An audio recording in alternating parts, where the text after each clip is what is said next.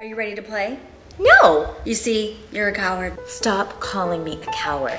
Well, then let's see who you really are. I know who I am, and I'm better than you.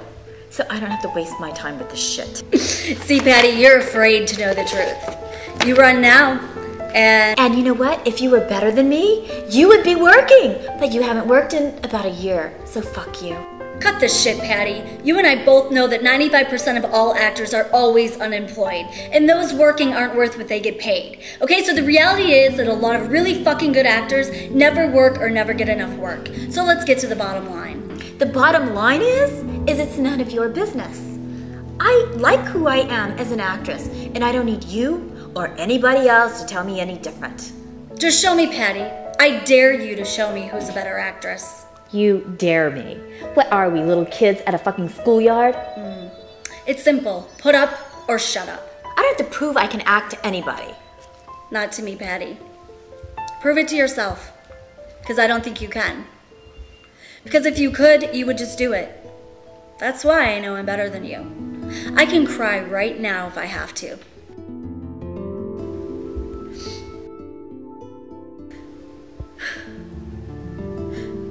Can't accept that, Nick. I wanted to marry you. And you cheated on me. You left me. Just when I needed you the most. I can't do this anymore. I'm sorry. I hope you find someone to love you.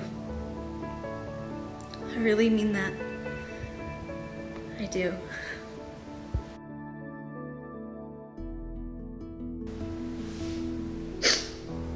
I have to go now. Goodbye. Goodbye.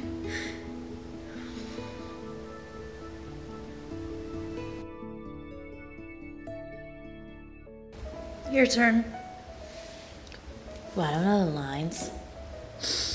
Well, neither did I, Patty. I was making it up. Don't you get it?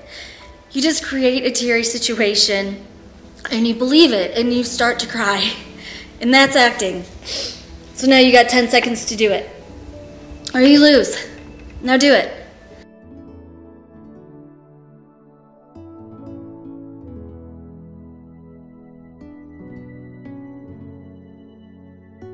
That's what you guys get paid for, to stay, hang in there.